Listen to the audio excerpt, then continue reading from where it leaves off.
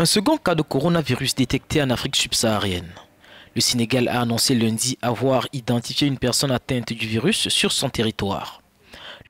Le patient, un Français vivant dans le pays, est rentré de ses congés d'hiver le 26 février dernier. Il a emprunté un vol d'Air Sénégal, précise le ministre de la Santé, Abdoulaye Diouf D'un patient de nationalité française, marié et père de deux enfants, qui vit au Sénégal avec sa famille depuis plus de deux ans. Il a séjourné en France, précisément à Nîmes et à la station de ski de la région d'Auvergne-Rhône-Alpes dans la période du 19 au 25 février 2020. Sitôt son cas identifié, le patient a été placé en quarantaine au CHU de Dakar.